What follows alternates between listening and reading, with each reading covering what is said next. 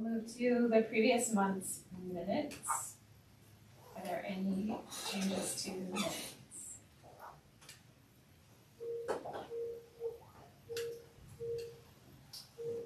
I only had one thing, and I don't know if you know this, Ben, so at the bottom of page three, where it's talking about money for renovations at the rec center. It says it would come from the recreation impact dollars, but I don't think that's I right, think it's is it? yes, yeah, yes. Um, what's the context? It's the paragraph right above number six. That shut up? It says money for renovations at the rec center will come from their recreation impact dollars. But I don't think those dollars can be used for that. Oh, it was there. There it is. Yeah, the, It's on the, the top there. Yeah.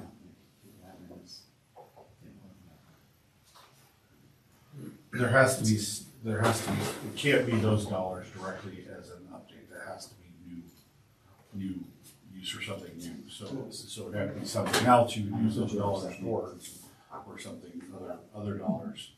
So I think it just, it needs to say money for recreation, renovations at the rec center. Would have to come from, I don't know, what. Or you could make it easier and just say recreation impact dollars cannot be used for renovations at the rec center, because they have to be used for new construction. That's the thing I have. Anything else? Oh, sorry. Yes, Stephanie. Hi, Stephanie. If not, then, is your, I was gonna let you know what, is Stephanie wanted to be here tonight, she has some childcare issues, so she's just wanted to be here, she'd be available for questions or anything else if we need to update, so she's just kinda hanging in the background. She looks great. so if there's no other amendments, I just need a motion to approve as amended, the minutes. I'll make that motion to approve as amended. Great, I'll second it. alright, all those in favor? Passes unanimously, thank you. Do we don't have any public invited to be heard? I'll keep my Um, thoughts to myself then. Before we move to old business, I just wanted to recognize that this is Dan's last meeting, at least for now, on the board, unless he least a chooses year, to right? re-up. Um, but That's why I'm thanks, here. Dan. You were here when I started, and, uh, whether you knew it or not, I actually learned a lot from you about how to be an effective board member and how to represent and listen to your community and pay attention to all of the issues, and so I really appreciate that Thanks. and all of your service. It's been fun. It's interesting that people come and go. You, it's a whole new group, compared, you know, so that's great. And it's, I'm really disappointed that only the two, you know, two people, there's an empty seat next term. That's really, I mean, Yeah. the couple of times that I've had to apply, there was like a dozen people. I had to wait in line to get, you know, it was like a a pecking order, right? Really weird, really weird. Well, you can help us recruit for next time around. Okay, um, we'll move on to old business, recommendations for Fox Meadows Park name. Steve, Stephanie? Yeah, so, um, you guys were given a list in your PRAB packet. Um, where all the chairs going? There's less every meeting. The public should be heard. Um, I don't have any formal presentation. The criteria by which the ordinance is written is at the top of the spreadsheet. And, um, Steve, are these folks were all at meetings or online or any Online, which way? yeah, Online, thank meetings online, and I did take, um, recommendations that were for the last couple parts that we've received recommendations that didn't get selected, because there are still valid suggestions Ah, from the city. So they This may or may not be for this part, Yes, a this- part. Yes, this is a combination of, I try to keep the ones that were like, the ones I took from Nino Gallo, if it was about that farmer, I didn't include them, because there's not really any Got it. point to do so. Okay. But the No, I ones trust that your were about judgment. people that were, say, killed in action that lived in Longmont, that's still a relevant possible choice, Okay. and so I, I added those to the list. Okay. It seemed like a long list because uh, last month it sounded like the meetings we had were a smaller group of people. It's like, wow, that's a lot of folks. That's all three. Yeah, We right. did, we did put it out on the, um, on the, uh, city website and through Stephanie's work with our communications team, uh, we did a little like nudging, and so we got a bunch. Gotcha. Okay. Well, and certainly certain groups of people are probably telling their friends, "Hey, we want to get this one or that one," or you know. I had one person said I should go and personally poll the whole neighborhood, which I wasn't. Can you clarify what, do you want a unanimous recommendation from the board or Um, what? I would what do you say, need from us? we're, we're looking for a recommendation to take to council when we take the master plan to council. Stephanie, I think we're looking at mid-January, right?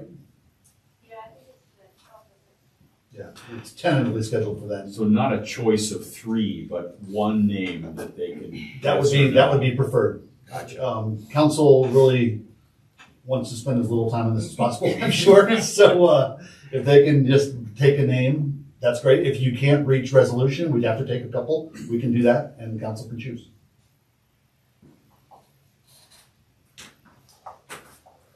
Uh, I personally would throw out Fox Meadows Park because I think it's, it's been the working name, I think there was enough support for it. You know, I, I like the recommendations for, you know, sort of a nod to the indigenous history, but I, it doesn't feel like there's been a real, like that this design of this park or anything has been particularly involving indigenous folks or based on that history, so it would feel a little weird to Just Maybe not slap it on so, there, Yeah, right. I feel like Fox Meadows Park is a good way to go. And I would throw it out there. Before you have that discussion, can I just bring this up to you?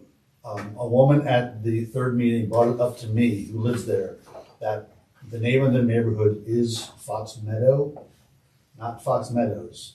Now, I don't know what their sign says, and actually we can probably pull it up on Google Earth and look. But, um, the development plans that we went through said Fox Meadows. So it's Fox Meadows in my mind, in the city's mind, that's what we've already called it. But it might be Fox Meadow, the name of the neighborhood, one of one of the signs.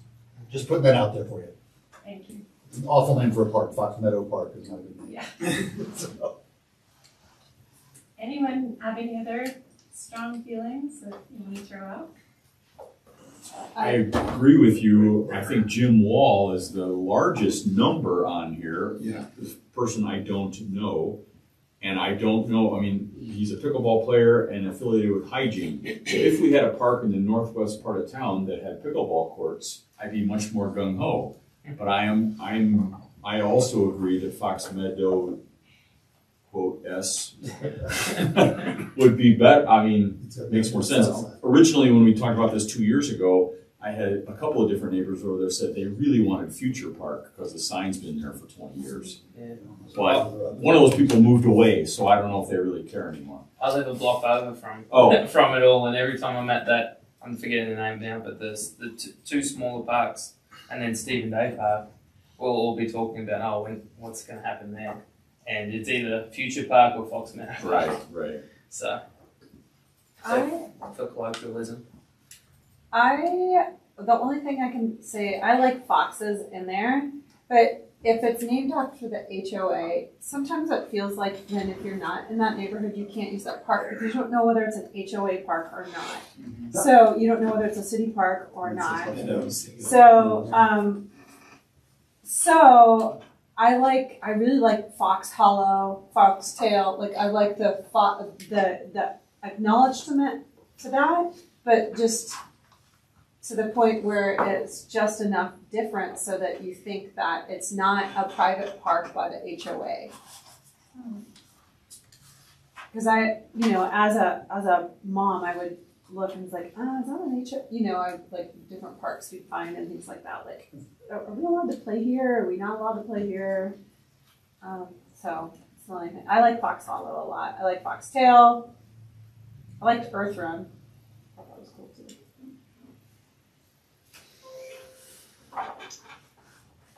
Other thoughts? I'll throw my idea. So I really like the idea of celebrating a impactful person in our community uh, and using one of the names that were called out.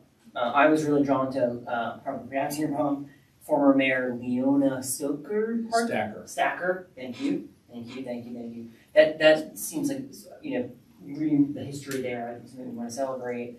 Uh, obviously, this Jim Wall person, I also don't know who that is, but um, a lot of engagement on that it seems as well. Um, so that's kind of what I lean towards. The Fox Meadow piece, I, I think I agree with Aaron too, where it's like, is it part of the development? Like, I wouldn't know necessarily if I'm allowed to go there. That doesn't really help. It's also it doesn't really it's descriptive, but it doesn't really do much for me. If there's an opportunity to celebrate someone or, in our community, we should take that opportunity.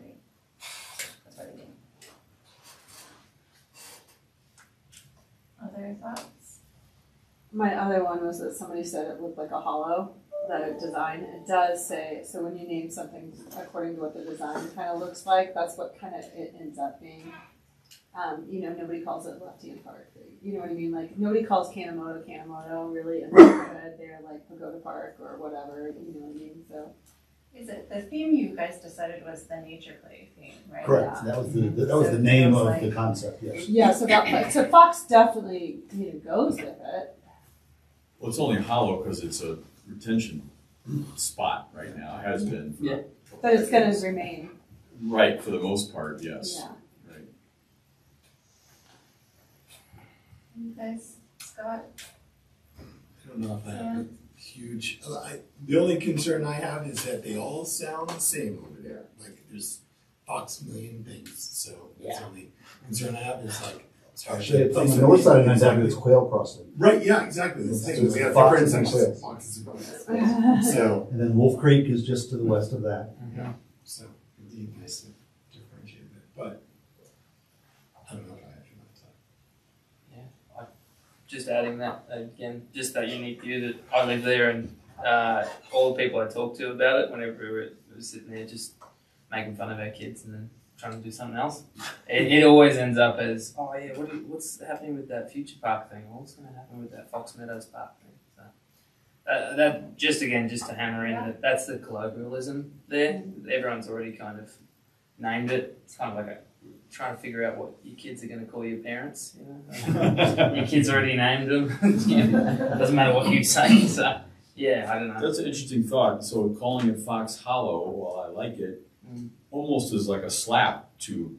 Wait a minute, what, don't they know this is Fox Meadow? You know, if I lived there, I, I, I might have that reaction. That was Like, what, what are they thinking? I I don't know. I don't know. Yeah. I'd say I totally hear you on people, and I felt that way in the past, but then like sort of after discussion, it becomes really complex, I feel like, and like prioritizing what people and is that person, because we've had this discussion in past parks, like is that person really relevant to that neighborhood? Does it mean anything to them? Is it the, you know, and I, and I Nino think Gallo also, fit right in. That was a Yeah. really and easy even that was, call. but that was even a lot of discussion. There was, So- yes. and just in general, I find that um, a lot of organizations are moving away from just kind of naming after people. Just Just in case we find out two Yeah. generations from Yeah, now yeah, that. like, and no, I don't know any of the people on here. Right, so I'm yeah, right. Yeah. I would love to see Leona's Twitter account. I've been there for twenty-five years. That would be awesome. So, yeah, I don't have a real strong opinion. I do think simpler is best, and it is simplest to keep it named similar to the neighborhood rather than trying to invent something new. Mm. Doesn't have a connection. I think the future park idea is kind of cute and interesting, Yeah. but um, If they've gone with the If they've gone astronaut with the theme, astronaut if they've gone with the astronaut theme, I would totally do. Yeah. Yeah. oh yeah, see, Yeah. I missed that discussion. That would have been a Yeah. slam dunk. Yeah, right. Pre- All right, then I, Well, and that's why they considered that option because of the name, right? Seems Yes. like. I think Fox Meadows, the, Yeah. and plural Yeah. meadows. Uh, well, Two okay, but what about, 'Cause that's what about Fox Fox Den? Because that makes it seem like it's kind of clubby. Fox what? Fox Den, somebody put it in there, the Fox Den Park.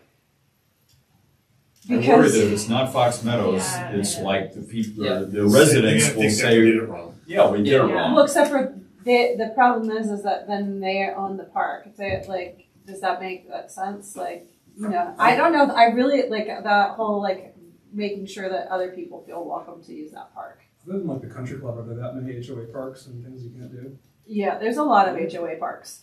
Well, in Southwest, That are that big? are they? Yeah, so every, every neighborhood, every neighborhood that's been developed since the mid nineties has some sort of common open space in it that has play equipment, things like that. Those things typically have, um, access easement over them. It's not necessarily clear whether or not those access easements extend beyond residents.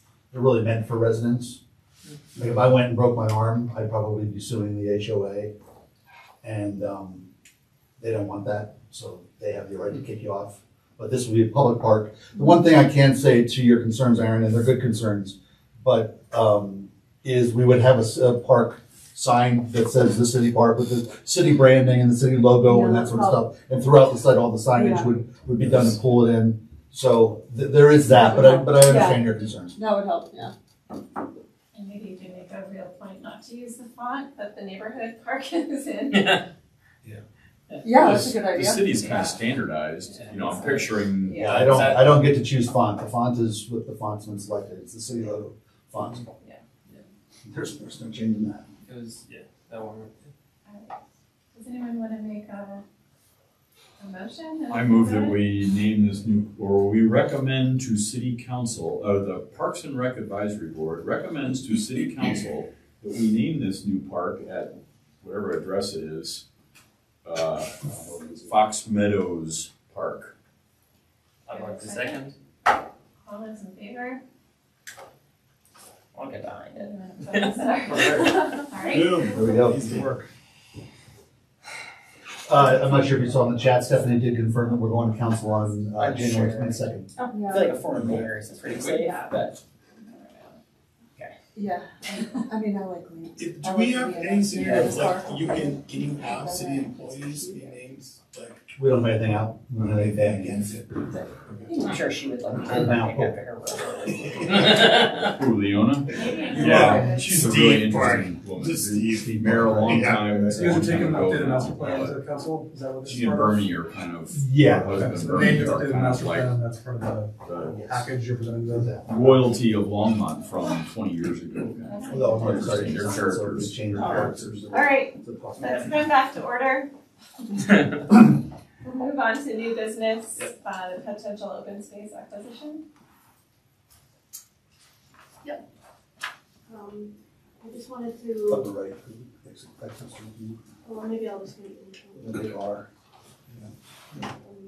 Are. I'll try to bring your map up. Just- Danielle has a really nice, um, map in the packet actually too. Yeah. Yeah. Which really, I Thank you think, for including that, yeah. yeah, I think that, uh, Yep. showing all that green, how it locks things up is really nice. I'll, I'll bring the map up here, Danielle, I'll do what you want, that map is really nice. So, um, we have, uh, a chance to buy this property again. We, uh, tried to buy it in twenty eighteen and, um, that opportunity fell apart. So we have one more chance at this, so it's pretty exciting. And if, if you see it on the map and then also up here on the aerial, it kind of, it's a really important piece of property for the city because it's up here in the northeast corner of the city, and it's close to our boundaries with other towns, so it helps kind of um, clear, make our boundary clear with uh, other municipalities around us, and um, so we we when we didn't buy it in 2018, uh, a company called Western Equipment and Truck bought it, and they are selling it, and we would like to buy it. Um, and we would like to just hear this board's opinion before we take this to council. Um, if there's any discussion around it or any recommendation that you would like to give before we present this to council tomorrow night. Uh, what happened last time?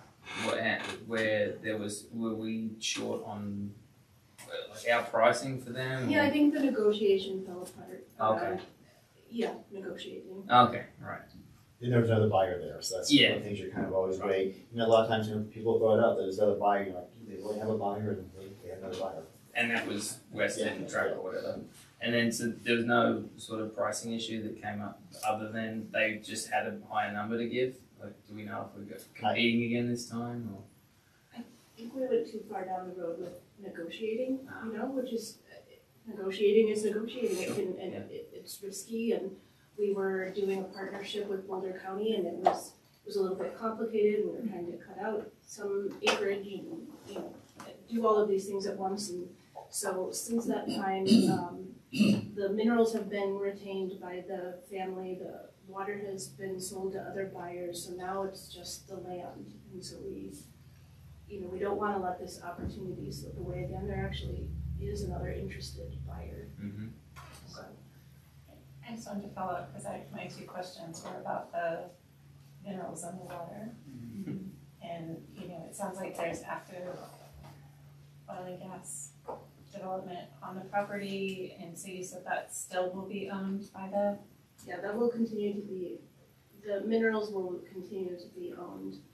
Um, and the oil and gas company there that is, has an active oil and gas well pad there is eighteen seventy-six from formerly Cub Creek.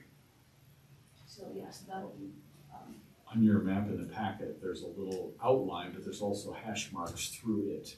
I can't Yeah. tell, is it included or not yeah, included, or? it's two parcels, so I'm just, Ah, I'm just delineating the two parcels and we, we are looking to buy the entire, the entire acreage there. But this that- sits on that, so you'll, so how does that work, that they rent to the city, or lease That's from the correct, they city? lease it out from the mineral owners. From the mineral owner, so the city's not involved. That's really weird, we own the land, we would own the land, but they get to use it anyway? rights. How Yeah, does so that we, work? so we would own the surface, the, the Olander family retained the minerals. Mm-hmm. And then the oil and gas company comes in and loses the right to access the minerals. So they pay a rent for the surface, right, for the fact that they have a bunch of stuff on the surface. They just uh, Will us the the city have any options. option It's to the problem with the bundle, problem with bundle of rights we have in this country. Yeah, that's what I'm trying to figure out. There's Did there's no, No, I'm revenue, there's no revenue to the city from the lease is what you're asking. And they get to use it because they get to drill on it. Yeah. So why bother to buy that hunk of property? well, because at some point that will, that will be over.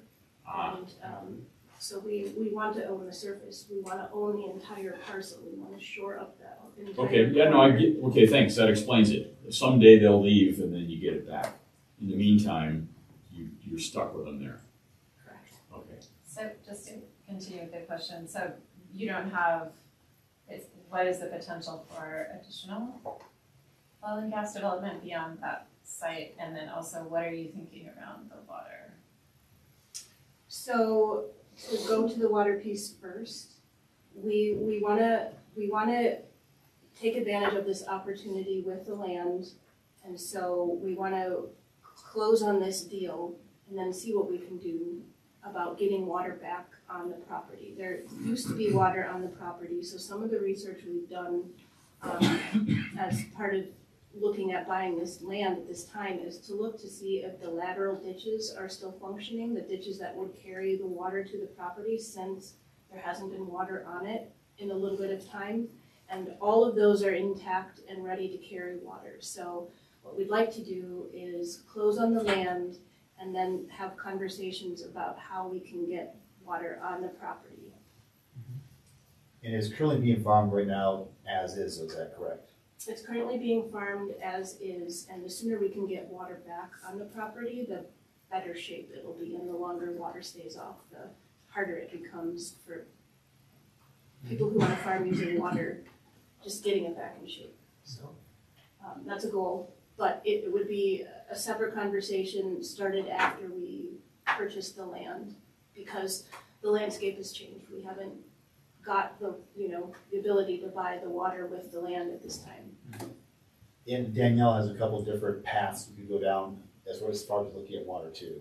Right, um, we've, I've, I've initially spoken to Boulder County, um, and so I'd like to take up that conversation after this deal could go through, and then as well, speaking internally to our own water resources department, um, to see what, what are the possibilities for getting water back on the land.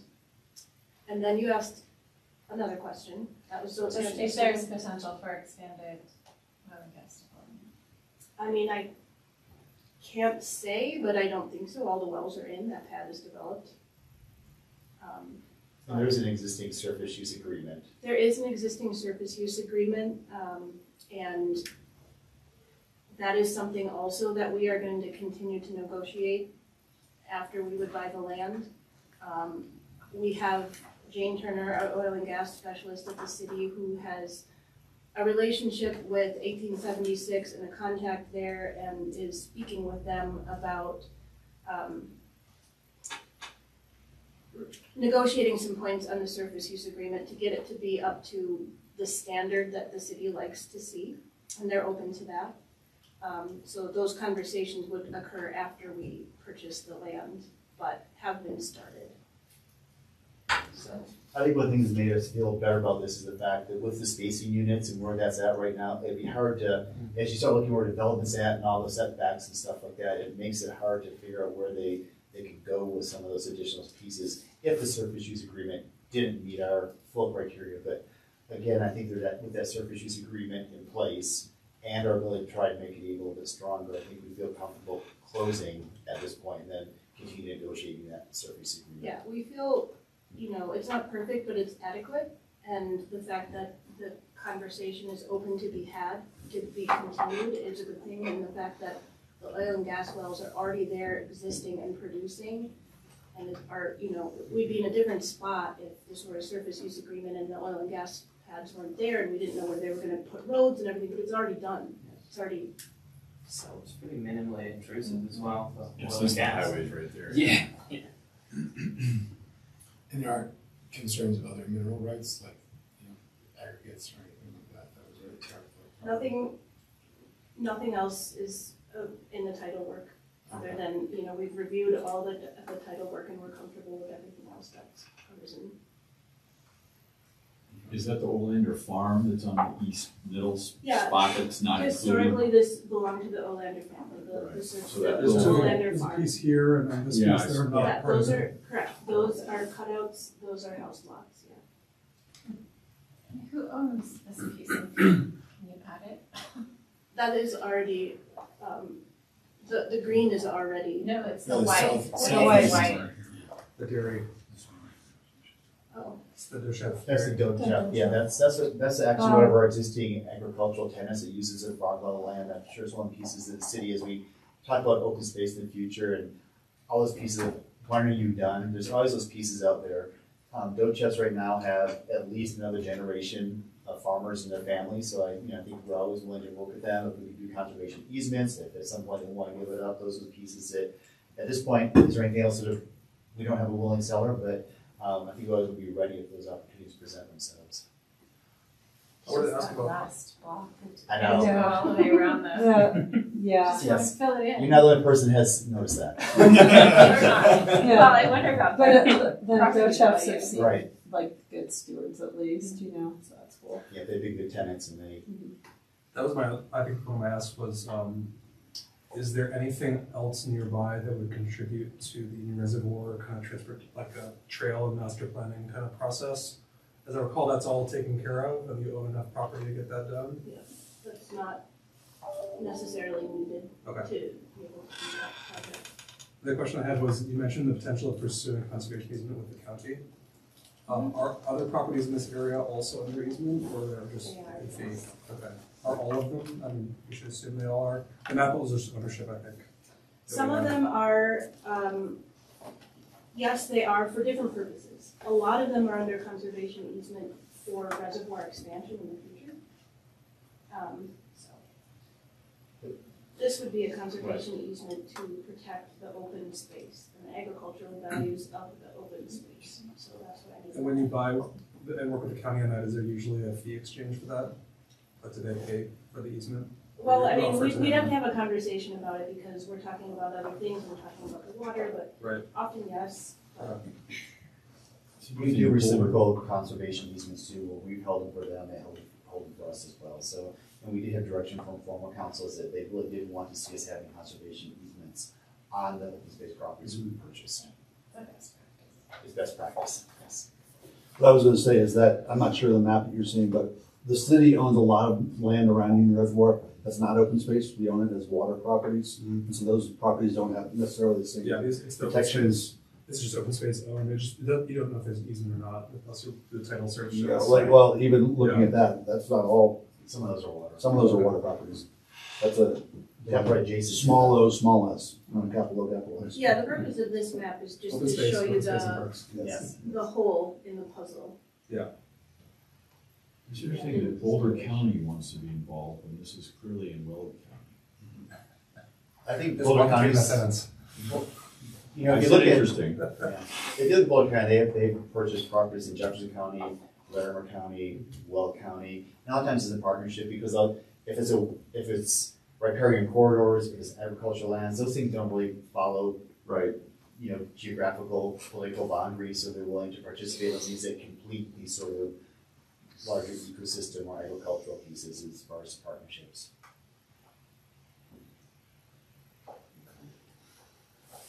Um, how much of the, like, available funding that is available for purchase does this use up? So is the, So I did break down the funding in my, so how much of the available so it's funding three, was three point oh, three point oh, three point, three point oh million for the open space fund, how much is in the fund overall?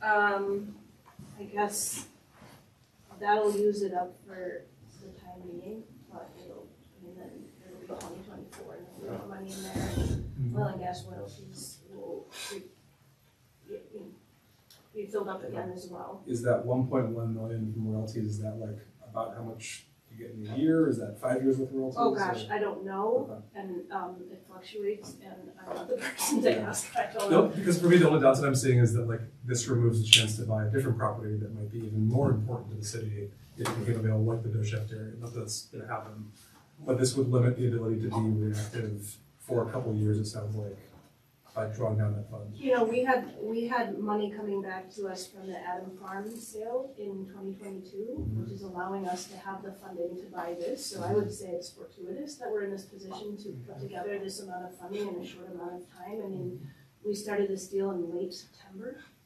and we, Yeah. yeah, and so I think it's, um, I think, go ahead. No, I'm sorry, I was gonna say, the piece on this that prior, I've been here now, going on my eighth year. This is a property, I think, Dan, you know too, that, you know, previous mayors and councils have all been, you know, wanting to acquire this property. Maybe that's just me being a little bit apprehensive now because we were negotiating, and we lost, it just feels like that one last bite of the apple. So I think that's the piece, if you start looking at city priorities, prior to Dan- Danielle sitting here, this has been a city council kind of desire for, you know, quite a while. And I would also say that, um, opportunities like this are scarcer and scarcer. I mean, the city limits, and the city is what it is, and so, um, this is, this is an opportunity that we would really like to take advantage. Yeah, I think the reason I'm commenting is that for a couple reasons. One, I don't know as well what else is out there, not on the shopping list, but what might be available or you thought might be available or could be out there. I have no idea of the pricing, of the sizing, like, it's just to use up a lot of the money for one thing is hard. And second, it doesn't really provide any parks or recreation benefit as an open space property, where I believe there are other properties like to the north of the city that are in the long-term planning of trails and access to parks or access to water.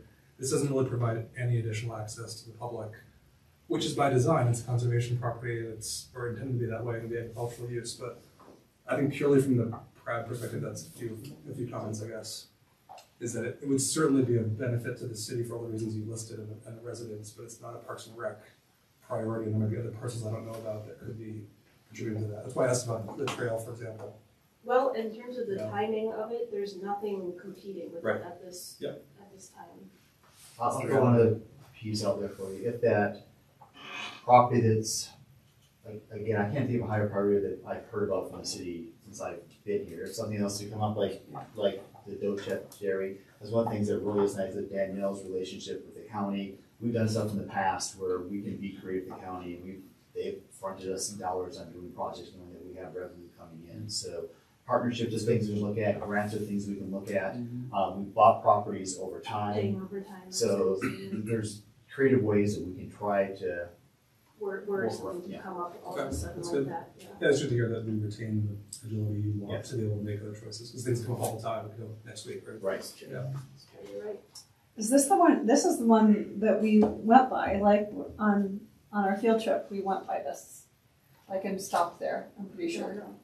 No, it was further to the east, uh, cause you had a view of St. I mean, Grand this is like year before last, yeah. Right, uh, I don't know for sure, I guess, I feel like it was, but, uh, okay. but I don't know. There's like a hill there, Somewhere out there. and a fence, Somewhere in the area. there's a hill. Let's So, go back to that, I- I'd just like to, again, for this group again, you know, be a Parks and Rec Advisory Group, but we really do come with that open space piece, and that open space sort of spectrum of things that are really to make community buffers and riders, the agricultural piece, the scenic views, there's lots of pieces in there that really aren't that recreation piece, if it's wildlife corridor, which just you know, has some edge effect too, but it really, I think historically been more that community separator. And just so you know, one of the reasons this came to us and went so fast is this was really me calling us because there was a developer calling me to say, can we get permits to build houses? They, they were gonna build there. So again, for Longmont, having that sort of driving into our community, you know, with that McMansion sort of look along there, I think was a piece for the community that is outside of the Parks and Rec, but I think we look at you as our open space advisory group is too, even if it's not in your title. So does anyone want to make a motion to endorse this proposal? I move that, uh, PRAB recommend to city council that we buy this property.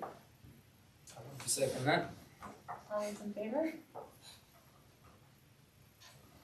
Unanimous. Great. Hear me struggle to sound official. I'm like, P-rap. what? Like, I'll think I'll Like, I'm P-rap, really. though. That's a P-rap, yeah. I'm That's like, good. uh, That's About my twenty-nine move that thousand we, dollars a night, that's it, that's pretty bloody pricey right now. Yeah, and you know, Much more than it was I was gonna ask that. I know. too. I didn't, yeah. which is Without the, right. right, mineral exactly. or water And That's one of especially. the things that I'd like to go Even without it. I come back to these boards, we talk about it sometimes, people ask, how do we get an appraisal? Yeah. It's one of those hard things, you start looking at comps and stuff, you look at these assemblage pieces, there's really nothing else you can compare, we can buy another hundred and fifty acres out in Weld County someplace, but it doesn't do what this one does, so I think people know that assemblage piece has a value to it. Mhm. One, and my other piece sitting here, having watched pieces go away, in ten years, when there's houses there, people are gonna care that you spent an extra, you know, X number of dollars, and say, why didn't you buy this when you had the chance? For the future. I mean, yeah, like even just wildlife alone and bird corridors and, yeah. it's gonna be really- Okay, so our next item, when we planned for this meeting, I asked um, Jeff and David, and then Jeff passed it on to Ben, to um, just kind of share some reflections about the past year, and since we're kind of at the end of the calendar year, I thought it would be great to just be able to hear from them, you know, what they, what felt good to them, you know, what were successes, maybe some challenges, and then, you know, thought maybe we as board members could take a little bit of time to share the same. Nice. So I don't know which of you wants. You want me, I'll start, because I'm gonna push back on Paige a little bit, because, um, I really do ask staff to put together sort of end of year reports, what kind of their accomplishments and achievements were. But a lot of times, um, that requires getting data in from the end of the year and pulling it together, so they have a little bit further out deadline, so they'll be coming probably the, the February meeting, because they'll, won't have time to get done in January, but they'll pull together all the data, so I'd like to just kind of get that higher level piece of what I thought, what, well, I think this group probably more than anyone probably recognizes what I'm saying. I think it really is councils and our leadership team to get additional staff to do our parks and trail development. You know, Stephanie and the team that she's brought on, so having Stephanie come on as a manager, having two new people come on in that term position to help out Steve, and then the person that backfilled for Stephanie. That's pretty impressive to happen in one year um, which then goes back into kind of something I'm hoping for coming up with the eight and five. So having that position in the Parks and Trail Design Group, um, Danielle in the open space piece. I think, you know, again, you got used to having Dan here, and Dan had a lot to do. And for Danielle to really start focusing on the open space piece um, is a huge benefit. And then she oversees the volunteer group and can oversee the person that's usually placing. So that capacity has been great. That also put in position Jim Kirk's piece, which was the ecosystem manager. So Um, Danielle can look at open space management plans, and then Jim can come implement it. So you're not having one person that is always down the rabbit hole of trying to do the strategic planning, but also doing the tactical pieces while you're doing. So it, I think it gives us a lot better look at how we look at opportunities, look at budgeting, look at future management of open space properties.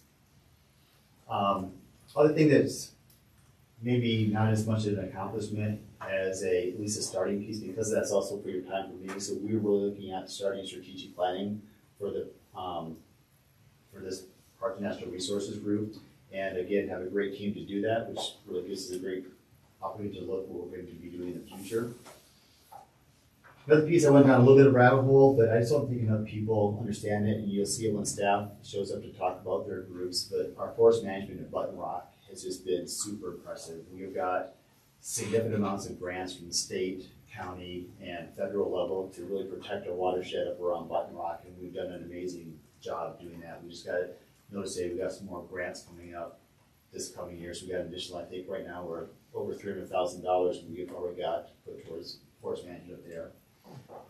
And then for me, that, again, that ability for us to have that capacity to respond to more of the public needs sooner this past, this past year, that we've been able to take on projects that we would have had to just say no to because we do not have the capacity. So for me, that's it, really was that capacity, maybe that's what it is, that capacity building piece that, that really took, I think, people like you that recognize it, councils and others to really give us that ability. Um, and then goals for next year, and aspiration, having that capacity would really be um, the completion, start to see this come online with the eight and five projects, which we're gonna see, you know, several new parks open up next year, which I think is super exciting. Um, having a new senior ranger out on our greenways, which will allow, again, more capacity at Button Rock and, and Union. Um, we'll have a new park supervisor, which will be able to help us with that maintenance and ongoing work within our parks. Um,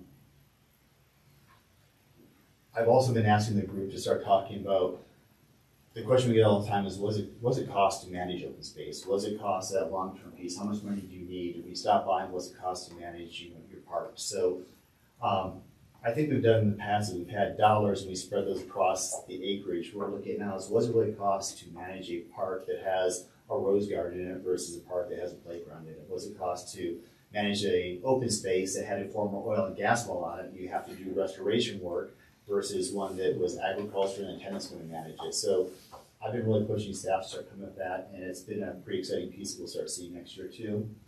Um, equity and inclusion, I think is a piece that we start looking at strategic plan building into that. Um, that goes back, and you'll hear it again, I don't want to steal the thunder, but like the kids in nature and the growing partnerships we're doing is exciting. Sustainability really being built, built into all, all of our master plans and all the, the things we're working on for me personally, and I think Danielle sitting next to me, is the, increased opportunity for volunteer capacity within our organization is something that I'm really looking forward to. And then even these little pieces where it may not be a trail, you know, right through something or given the, the scenic vistas, but we have a lot of our companies come for regional trails and using the open space program to help facilitate some of those um, regional trail opportunities, which I think would be a huge benefit for our community overall. Does does that work for you at a high level? Is that? Perfect, you. There's a lot there, and there's a lot of great people going to be doing a lot of great work for you guys, so I'm super excited about it. Yeah, no, that's exactly what I was hoping for. You have yours separate? Data. No, in February, like, we'll come Yeah. back with staff, No, I'll all do, if you don't mind, that's what we'd like to do, is have Yeah. that. That's perfect. Ben? Yeah, so, um, Jeff gave this to me because it's actually my stuff. It's just fine. It's all folks that work for me.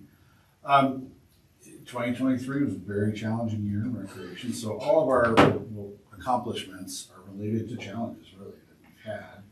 Um, You know, you know, I had one down and then David talked about staffing, getting staffed this year was a, was a huge challenge. And we became fully staffed. Um, we have somebody resigning right now, so we're gonna lose one, but um, that's the nature of the business. But we were, to start the year, probably needing, six or seven staff at various times, a full-time variety, plus trying to get fully staffed and temp staff post-COVID, which has been such a challenge, as you guys all know. And we're there, you know, we got there in the summer, late in the summer, fall. Um, we did a reorg related to that. Uh, we did a reorg within, internally within aquatics that put a focus on the maintenance side, so kind of building up the maintenance side to allow the programmers to really focus on programming and not be quite so um, universal, which I think will, has allowed them to really focus on programming, and has allowed now two maintenance folks instead of one with the same amount of money. We it happen, we just split the pie a little bit differently. Also looking towards the future, at some point, we'll have another facility. So having another maintenance person we know will be helpful. So that's, it's really a cool one this year that I, I, we're all very. Um, and within the memorial building with my adjustment and duties, we kind of made a couple of changes there with staff that really kind of helped again. Just focus, letting people do what they're really good at and will hopefully allow us, set us up for, for success in the future in the programming area. Um, straight up accomplishments, getting the pools open this summer, the two activity pools. Gotta give it to our aquatic staff. They spent, I'm sure we can count them, so they're not countless, but it's a lot of hours. Um, Roosevelt hadn't been open in three years, almost four the way, the way that happened. And to start up a pool that has been dry like that was really something, and they got it done. And other than, uh, the backflow inspector forgot, forgetting to close the valve like a day before we were opening and losing half the water, um, we were ready to go on time. That's, it was pretty, pretty awesome, I thought. Um, we got Rhythm on the River, moved to Rhythm at Roosevelt. Uh, that was a, a big change for us. Um, we were very satisfied with the outcome. The, the feedback from the public was great on the event. Um, it was a lot of fun. It was a great day. The feedback from staff and, and realize that event is not just recreation. We, we head it up, but that's a lot of different groups helping. The whole organization really loved the way it was set up. It wasn't as much of a burden to some of them, uh, and that's a good thing. You know, it's jobs can be tough, and even with our folks splitting the day, instead of having you know two, well, a twelve-hour day and an eight-hour day, having one 10-hour day split into two was uh, everybody on our staff who I got there halfway through, and I was there. I got there halfway through for my shift, and to a person, every one of them said, "Do you need me to stay? This, you know, do you want me to stay?" Because they were having a good time. So it was it was really cool, and no concerns with the neighborhood. Parking ended up being great. It's a great event, and we look forward to the future with it. Um, another uh, another accomplishment for sure, getting the feasibility study done and prepared. Related to that, we certainly want to thank council and everybody here involved for helping to get us on the ballot. And we were successful, but I think we learned some things. Um, we'll be jumping back into that. That's a challenge for the future that you know, we'll, we're already looking into what the next step will be and being ready when that comes around. So um, it was a big deal to get the study done. Um, I hope we're able to utilize that information when it comes around again with update. Um, Didn't win, but that's okay. We'll be back again. Uh, we got a new therapeutic recreation coordinator started. It was a huge deal for us. Um, something I and Michelle Wade at Senior Services fought for for a couple of years. And it was the first time recreation since, well, since Jeff has been there, before, well before me, that we were ever given a position, in, the, in this case, have a position, without having the supporting revenues. So that meant a lot to us to, to get that because it's so important to the community. The programming for special needs is so important and something we just couldn't get far enough into because we just couldn't commit the staff. Now to have somebody who, this is what her job is, she loves it, she's a professional in that. Um, really exciting, and she's doing some great work and we're already growing, so very fun. Um, Talked about the reorganization. um, And we will top four million this year.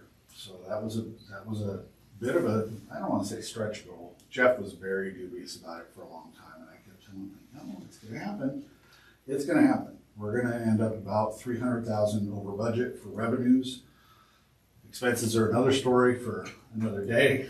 Um, something that we, we're struggling with because staff costs have gone through the roof, as they have everywhere. But revenues are, have been on the move, and well, and that's a good thing, so.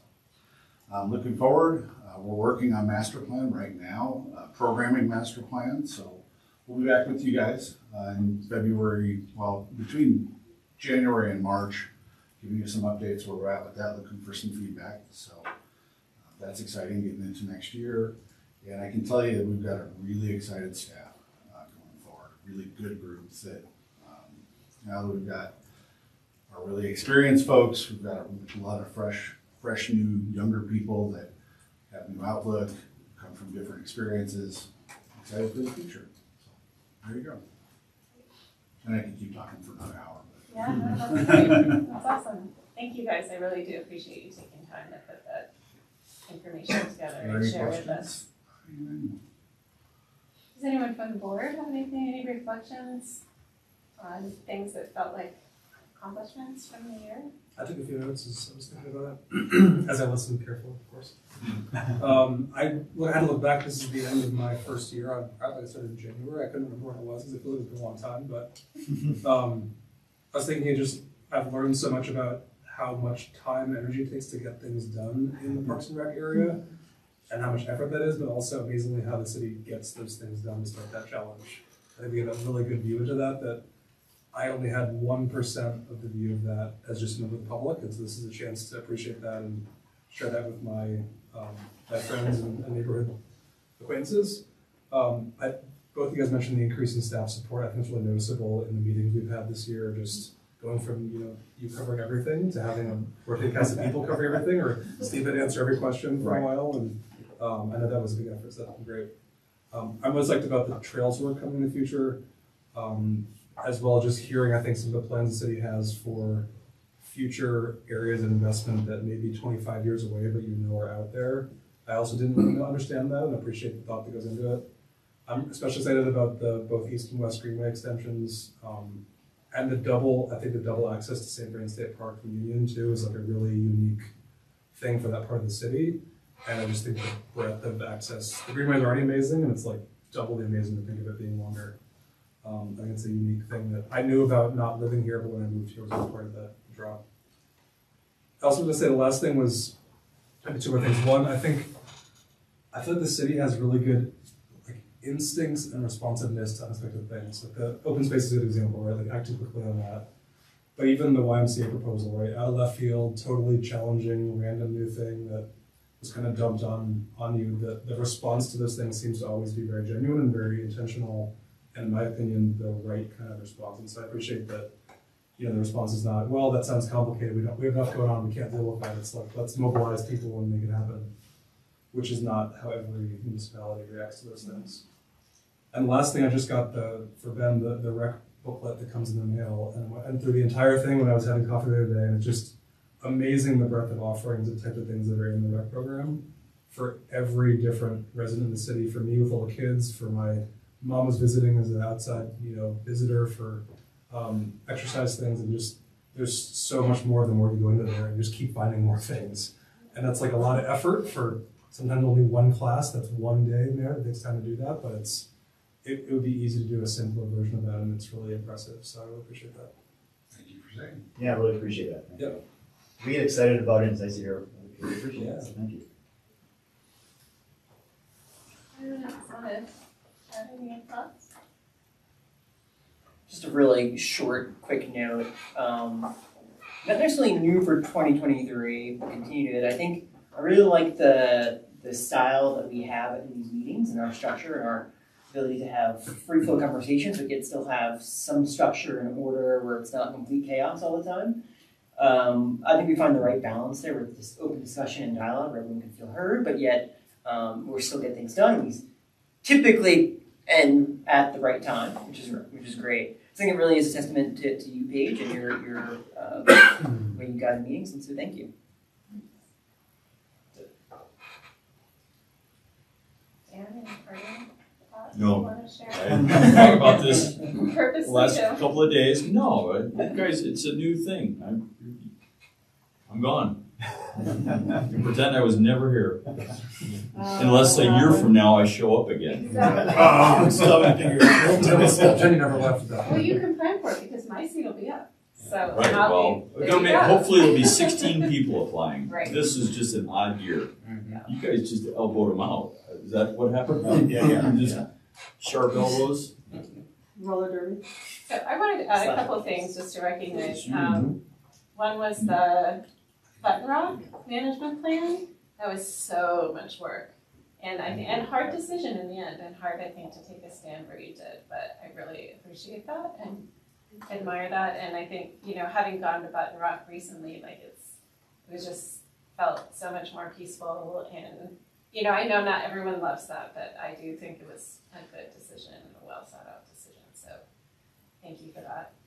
Um, I also was, have been, uh, super happy to see the increased capacity because, you know, we've, every year we've been like, okay, why do we just have one or two project managers and the same people? And so just to see the folks that you brought last time, you know, just having, you know, having Stephanie joining us and, uh, I think it's been really great to have that added capacity and things, see things starting to move, hopefully at a little bit faster pace, feels like they're moving at a faster pace.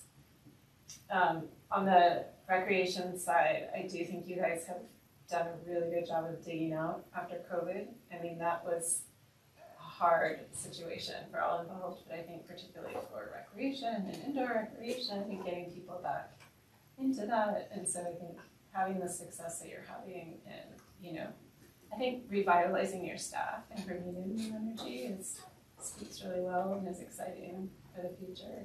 And I'm super excited about your partnership with Thorne where that's going and the sort of kids in nature and the focus on kind of equity and underserved communities. I think it's really great. So Thank you. lots of stuff. All right. I was actually not thinking of a yearly compliment, but I was too lazy to write it. I was gonna write you guys a note, but I had a. I just went to Button Rock as well, and you know I go during the summer, and I went on uh, just I went tracking over um, Thanksgiving, and uh, the the new plan is working. Uh, there's a there's a lot more wildlife right now. I I don't know. It just seems like there's a lot more wildlife than there was and um, and then having a really wonderful interaction with the the ranger up there, Daniel, I believe his name is, and just you know he's he's taking pictures. He was enjoying himself, which is also really nice to see a ranger like enjoying their work, right? When he was uh, doing his work, but he's taking some pictures, and you know had no ideas, you know, on Parks Board or anything, and had a conversation with him and my brother, and um, about like the animals there and what like what's appearing and how well that the plan's working and then I let him know you know like that you know I talked to him about being on the board and that, with that decision and everything and how it was tough for people but it was really good. It was great interaction with them and Button Rock's going great. So If you don't mind, I'll just look through, I was wait for maybe price when they present in February, but I think if the board wants to really think about a field trip coming up, that part of Button Rock to see the forestry work up there, because I just don't think there's many people in our community who realize what a significant project we're doing up there, that I have friends at the national level in the forest, that are like, how did you do this? Because we're doing cross-boundary projects where mm-hmm. we've ignored property lines and just said, the management of the forest is an important piece, and it's, it's a pretty impressive project. yeah it's really cool yeah the mountain lion has no idea that there's a city and a county, County, boundary and forest then, oh this is and Larimer. County and Exactly. mean like yeah And the fire doesn't care either when it comes to. No, uh-uh, it's, that's cool. Yeah. Awesome. Well, thanks everyone. I just, I feel like at this time of year, it's always good to kind of take a little time to reflect before we dive into the craziness of the next year. So, um, next item is items from the packet. Does anyone have questions on things in the packet? Yes. Um, so a few things on, on page sixteen, so, um, so, uh, first, uh, Thompson Park, great, live in the neighborhood, love it. Um, the question is, uh, taunting with Thompson Park in July fourth activities. It's already come up about five times in the last week from neighborhood people to me. Stephanie, you ready for these?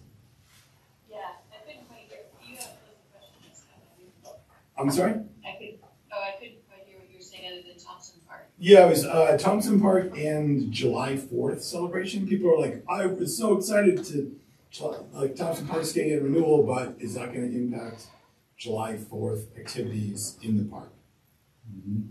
I would Um, assume so, since the schedule I, seems. I would guess it would, because that's ideal, you know, construction time. However, the phasing hasn't been determined, um, and it hasn't been awarded, so whenever we get that construction schedule, we'll have more information on that. You know, it's the playground replacements, modifications to some of the pathways, and, um, minor renovations to the restroom with regard to the fixtures and whatnot, so it just depends, you know, which shelter, maybe it can be spaced, that one of the shelters is available and one isn't. Did Jeff phone that question into you? No, no. He called me immediately. The like, first, the first one was somebody from the PTO, like Rob, and she's like, "You you do park stuff or neighborhood stuff. What's the deal with Telekom?" I'm like, "I, I don't know, but just The day after we convinced Symphony to not try to go to Roosevelt and stay at Thompson, we got that call. right, So, Nice. um, we are working with them on alternative. okay, all right, yeah, it's, people will be upset no matter what. you know, right, so. At, at one of the meetings, they discussed closing just mainly the area around there and buffer, which I think would be compatible with still having the event there, but maybe it's better. Trying it, not knowing where these guys will be at, we just want to have something, you know, to be successful, so we're working with them. So, Something will be fun. Um, uh, great. Um, in the Dry Creek One path, there's a reference to a CMO, and I didn't know it was. I think it was Longmont Housing Authority, is the LHA. It said that there was a conflict between LHA and CMO, and I don't know what CMO stood. I don't know if there's a special project management term for that, but I'll, Stephanie, but it's, City, the city manager's office. Oh, okay, city manager's office. So it's a question about ownership of the property or future use of the. So that's why we we can't build a trail there. Is that the concern? It says trail. Now, Yeah, it says. Tr- I'm sorry. What? Yeah, go ahead. No, it is paused. They're trying to work through some of the challenges with regard to where the trail goes on the property and the future development of the property.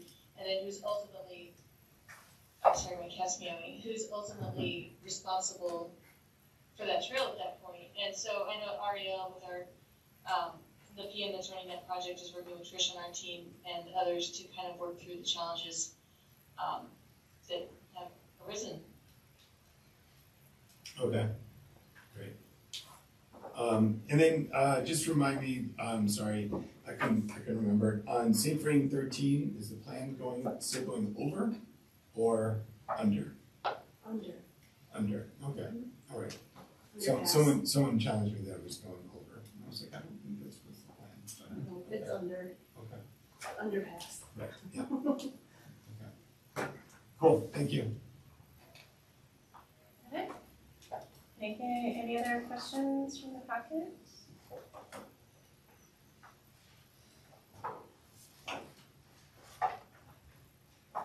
No? Um, okay, any?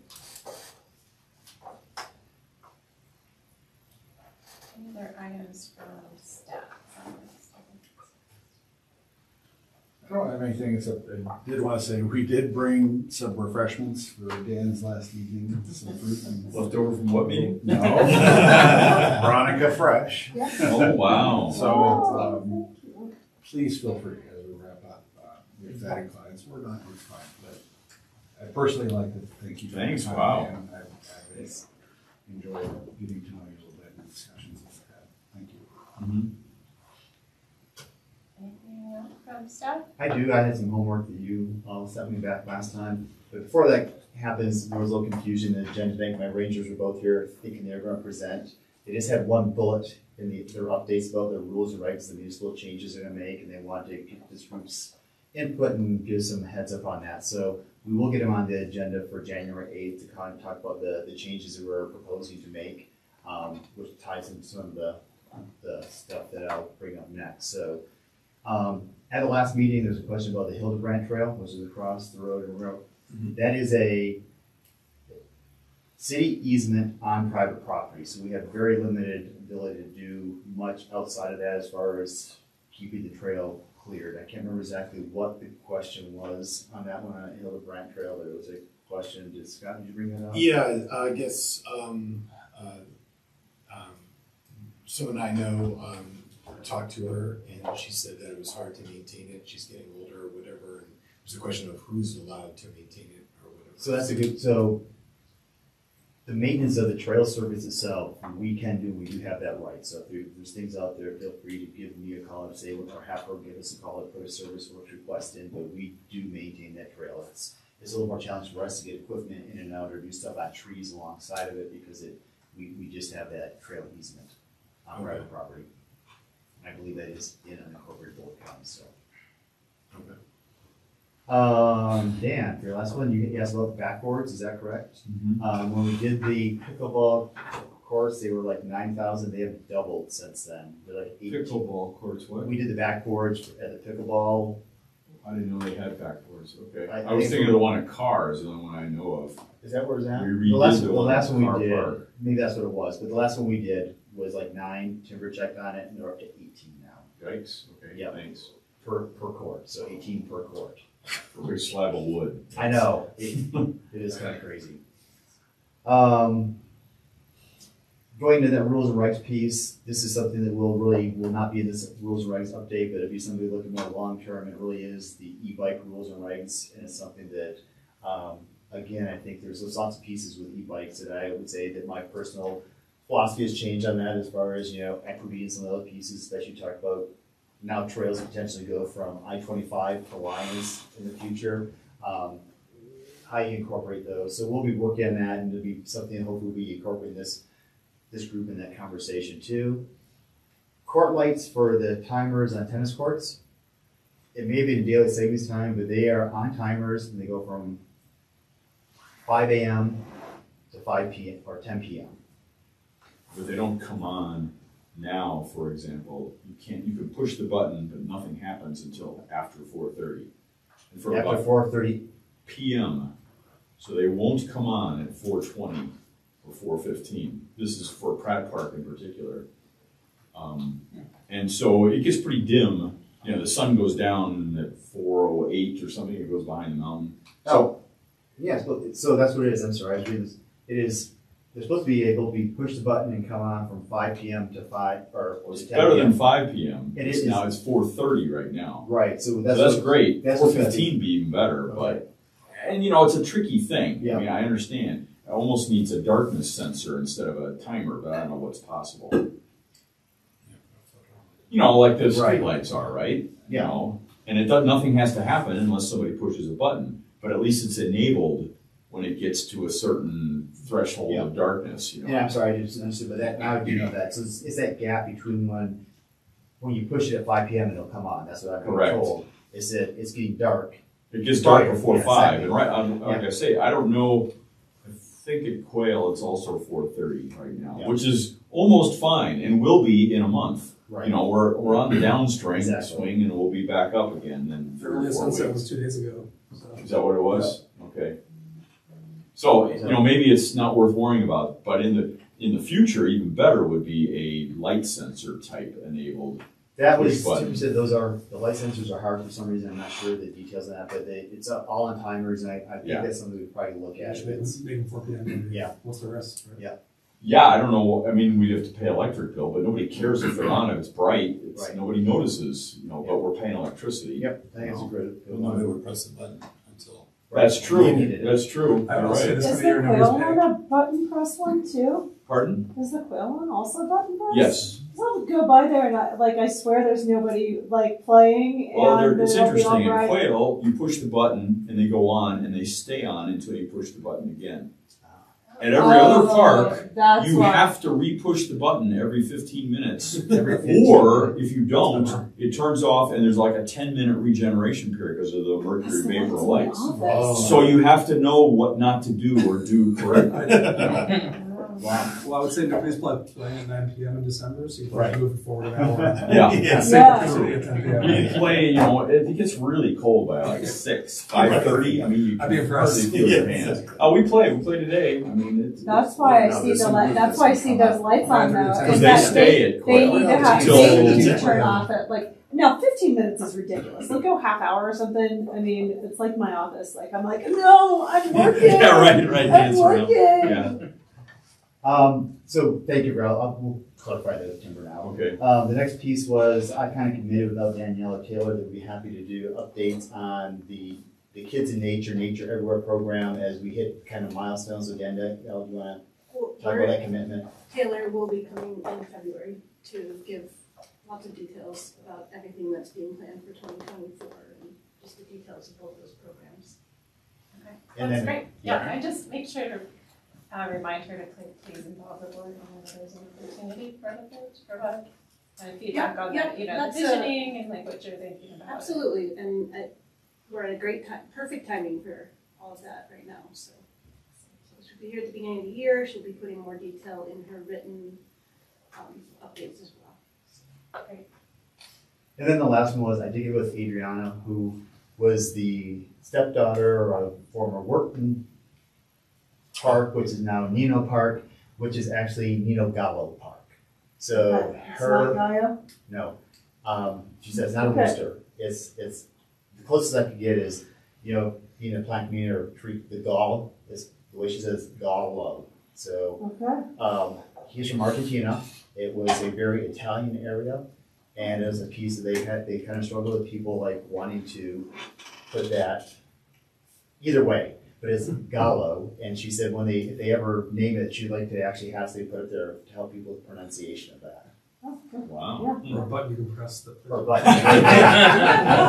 Yeah, not Gallo, Gallo, Gallo, yep. Great. So I For think that was, the that was my follow-up. full yeah, thank you, I appreciate it, list. for sure. And then, um, again, those pieces I don't think a lot of people really understand is that our open space program with the agricultural piece, um, there's a lot of stuff on local food, and that's gonna be challenging just because of the way markets are and everything else and pricing and where things grow most efficiently, but, um, Boulder County and Longmont now with Montgomery Farm property, which is on, um, sixty-six and County Line Road, that long property that's up there that will be a future park at some point. Um, it's farmed by Dave Asbury, who is the largest organic farmer in the, in the state. And um, he has full circle farms. He does farm stands. He sells the whole foods. Does Rocky Mountain Pumpkin Ranch. Um, so we just renewed the lease with him. So he'll be continuing to farm that property up until we decide to do a community park at that point. There are still 46, 48 acres, I think, in the southern portion of that that have to stay in either ag or natural areas. They cannot part of the park.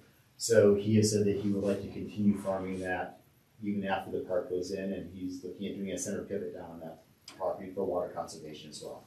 So, and we're taking up his lease renewal to city council tomorrow Tomorrow. night. There's that. I can pass it around if you want, but I just, it, I just wanted to mention, you know, agricultural lease management and renewals are something that the open space program does, and this is one that we're taking to council tomorrow night. We'll see it on the. What, what's the timeline for a citywide or a regional park, or whatever you just called it?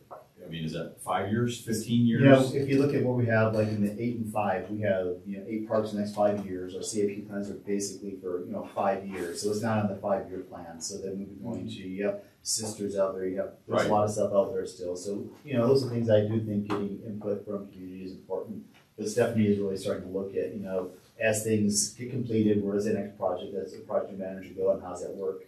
Other pieces that we have, two of those positions are termed at about five years, so we, there may be some slowing back, and slowing down at that point as well. So not within the next five years? It's not within five, bottom it's not on any Right. five-year CIP. Okay. That was one of the sites proposed for recreation. Yes, right. Yeah. Those are future. But within the next five years, we are trying to work with a lot of our agricultural tenants on the infrastructure and to support them, um, getting center pivots and things, so those are the types of projects that. Oh, instead of the Open ditch agricultural, stuff? Open space, Ah, yeah. okay. Any other items from staff? Or we move I have one response to the e-bike thing. Mhm. I wasn't here last week when it was brought up, but um, in my other work with the county, we had a really good study session several years ago to just kind of like introduced a lot of different perspectives on e-bikes from transportation and mobility. And it was really helpful to have like a chance to talk about it without some kind of decision being proposed. So if we could have a chance to do that, it'd be a And. I think, you know, transportation brought up last meeting that our new council member was on transportation. I think it's a conversation, they probably had more conversations about it than we have. So I think making sure that the city's um, alignment on this is something that we're trying to meet all those overarching goals. So I think there's definitely a lot of time to have some of those good conversations. A big part of that for the county was that the municipalities all had their own rules at that time, so it was really confusing to know what could be done, especially the trails that cross county and municipal boundaries. So it'd be good to note, I guess, just how that's evolved outside of the city to know where we might end up kind of Yeah. aligning to of county. So just so you know, one of my previous positions, I was the lead ranger for Boulder County. It was one of the pieces for me that you want to set people up for success. So if they leave on their e-bike with their dog on a leash and they start hitting different property ownerships and the dog is allowed, but the bike is not, the dog. and the, exactly, and the dog is allowed. So, so yes, all those pieces, you know, equestrians, all those pieces, I think that, you know, sometimes we start having these regional trails, how do you make it so successful for the user? Something I think we definitely want to talk about. That's great. Don't take away my e-bike. Any items from the board?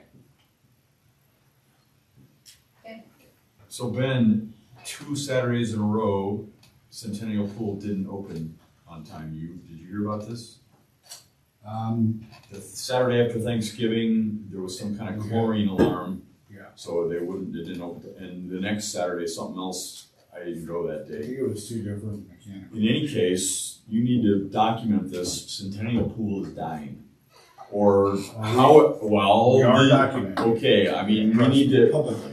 Yes, we, we discussed this, the failure of the, I mean, I think a lot of the swimmers are like, yeah, the, the pool, they'll just keep fixing the pool. You need to somehow get that word out, would be my thought. Okay. As a, I mean, this is the stick end of carrot and stick. You know, hey, we're not gonna have a pool soon because A, B, C. It's gonna cost us this many bazillion dollars to fix it or redo it or Eh, these are just two examples, but it reminded all of us at the pool, the master swimmers in particular, it's like, oh, this pool is old. Because here we are at 7 a.m. on a Saturday and we don't get to swim after all, you know, that kind of thing. Yeah. So it's just, it was just a simple reminder. So, you know, for four years from now, when we try this again or whatever it is, you Yeah, we, we do, we do have Sarah on a, on a log. Okay, well, we somehow we need to publish this. You know, we've spent X amount of man hours and money, you know, just keeping this thing running and, you know, that kind of stuff. I don't know. To- you know, to- you brought this up. It's like, hey, we're, we're just not, people don't believe that it's falling apart. Right. And that's very true. People don't believe it. The There is user a there. Yeah, well, and that's what Jeff has been saying that for years. Yeah. Got it. I'm trying to be I'm helpful. on board. Yeah, right. And thanks, I've had a fun time in this group. And uh, it's a very different set of people in good ways. And, you know, it's, it's, you know, people cycle through.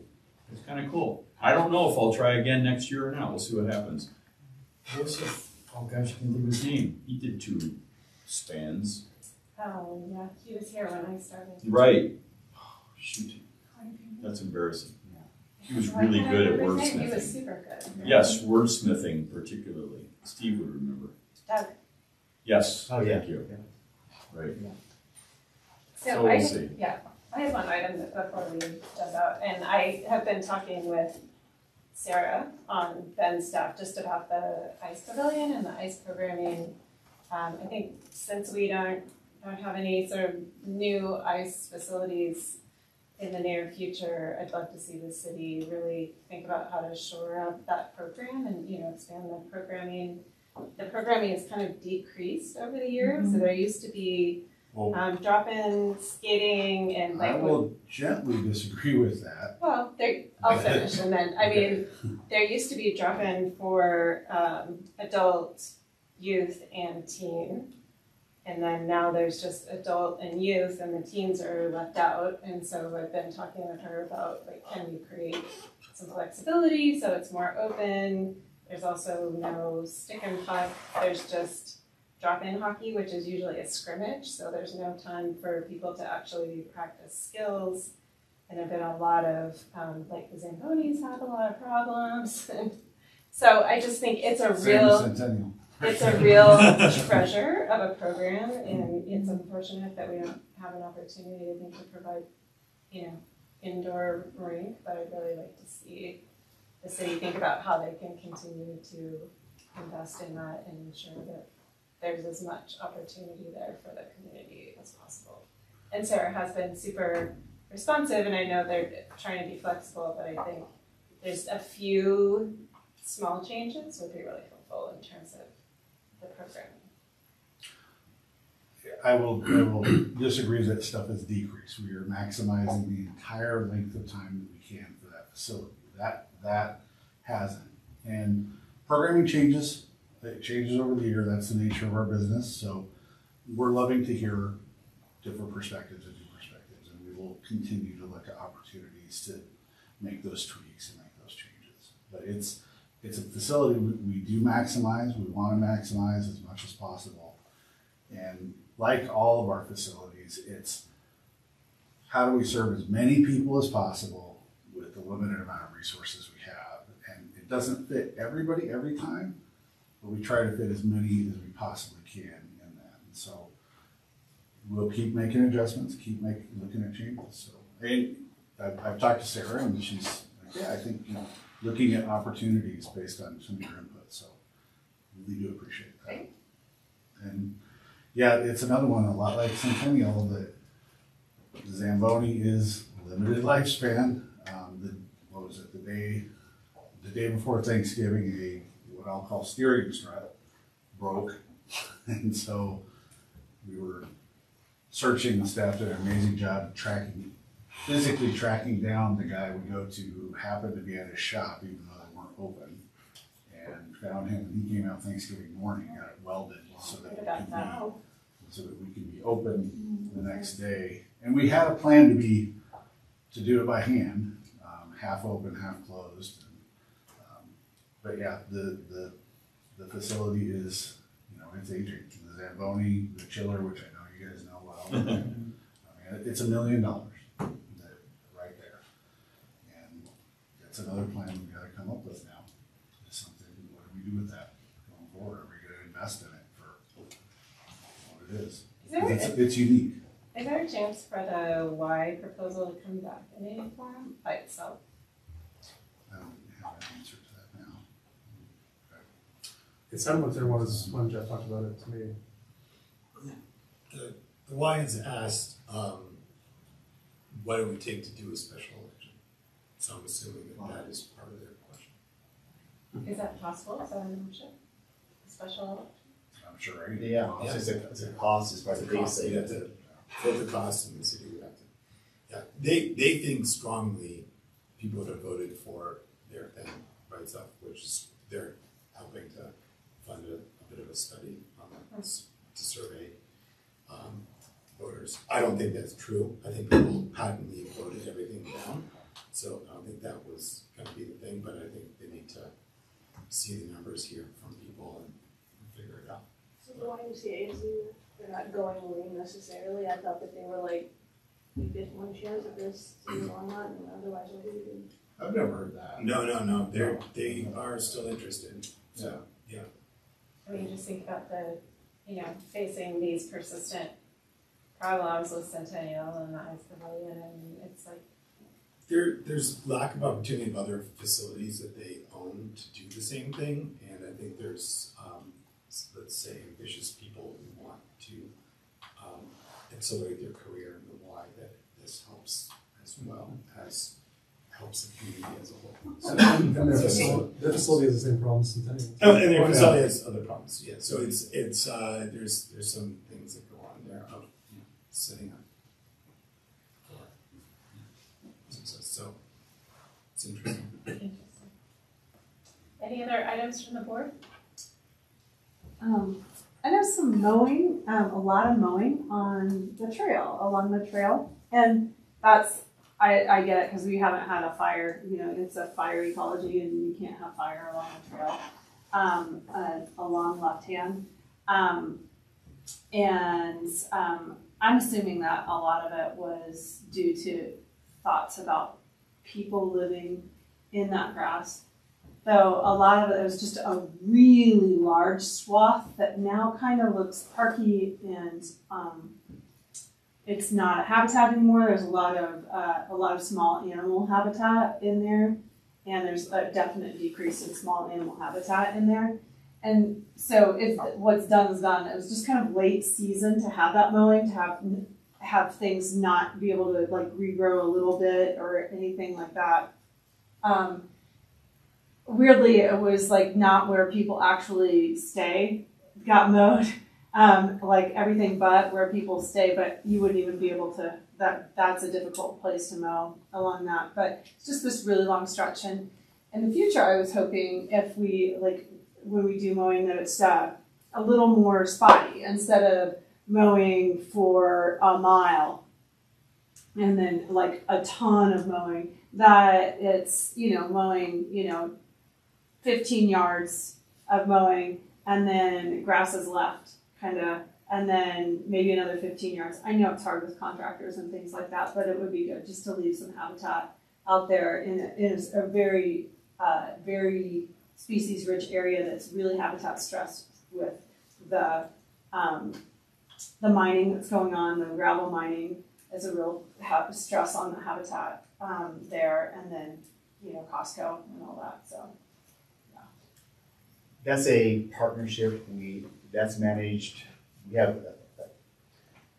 an obligation to deliver water, so Left Hand, Out- actually like everything else in our city, carries water for water rights, so we, we have an obligation to keep these clean and moving for that, we have to have access for that. We have public safety needs as far as people camping down there and having fires, we have environmental issues, so we have a very collaborative team that's going out there saying, what can we do to one group would like to keep all the habitat and do nothing. One would like to say, if you mow it all down, we can drive by and see what's happening there and be okay. And others like, if we slick it all down, water conveys really easily. So the, what you're seeing is really a result of a very deliberative conversation on different groups working on how you address multiple city challenges in, in a place that um, doesn't have one really good solution. So I'll carry that forward, but what you're saying is, is really what we're doing. We're sitting down with multiple groups and saying, what do we need to do to achieve these different objectives? And maybe the new ranger instead of being a drive-by ranger can be a mounted ranger with a little bit of uh, slower going like me because i'm a pretty flippin' slow runner anymore um, Our yeah. rangers are down there all the time, they're talking to the people. Yeah. It really is that constant vigilance. So, you know, we have police officers have other things to do for them to be able to drive by and see things and get down there. It's a, it's a partnership with them too. That the rangers are, are down in there trying to figure out where the best places are to contact people, give them service they need, or try to get them moved out. And again, you talk about habitat. Um, having humans and human feces and human waste and litter and trash and garbage and fires is really not great habitat. Oh no, it's not. I, I get it. Yeah, I mean, I, I I'm in it. Right. You know, I, I get that. It's not great either, but just uh, there's certain areas that weren't human habitat and they're no, but they're they're mown now, and I think it was just because it was easier to do that, and um, it just we were just losing habitat that we don't need to.